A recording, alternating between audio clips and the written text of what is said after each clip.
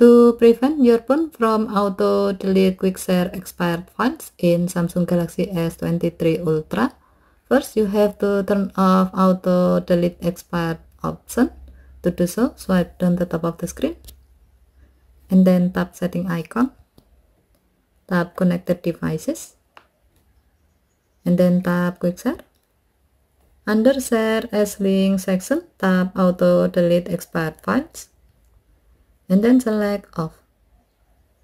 When you choose this option, your phone will not delete expired files shared with QuickShare.